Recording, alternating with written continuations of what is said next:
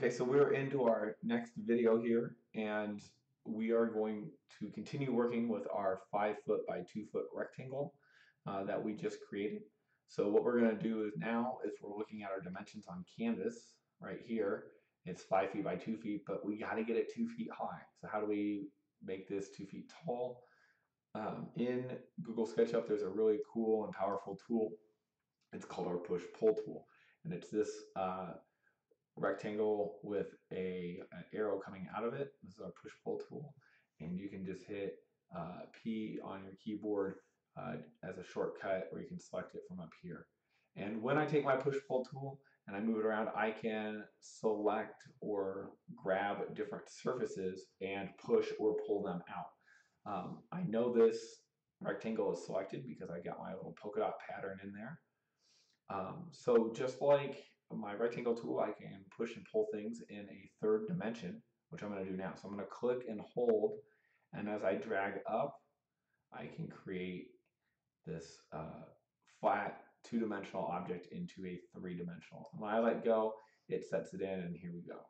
So there's my cube. Now, I didn't pay any attention to my dimensions, so I can use my tape measure tool, uh, which looks like a tape measure, or is T on your keyboard. So uh, T on the keyboard gets you there. And I can measure. And Google SketchUp likes to snap to things, so I can put uh, my tape measure on the line there, and we get a little red square.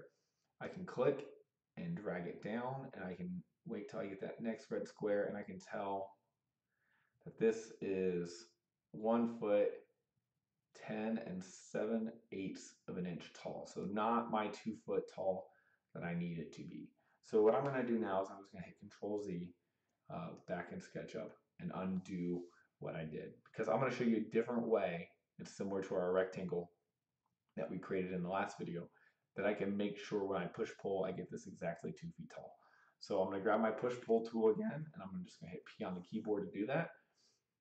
And I'm going to click it just once and start to ease it up. Now I'm not going to click anything else. I'm taking my hand off of my mouse and now I'm just going to type two and an apostrophe for feet and hit enter.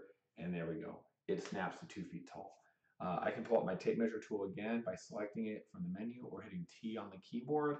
And now when I measure, whoop, I'll try that again. Make sure I grab the edge and it says on edge.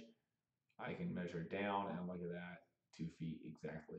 There we go. So we went from a five foot by two foot rectangle to now we have a five foot by two foot by two foot rectangle uh, three-dimensional object. And what's cool is you can grab your orbit tool, hit O on the keyboard for your shortcut, and I can move around and see this thing in all three dimensions.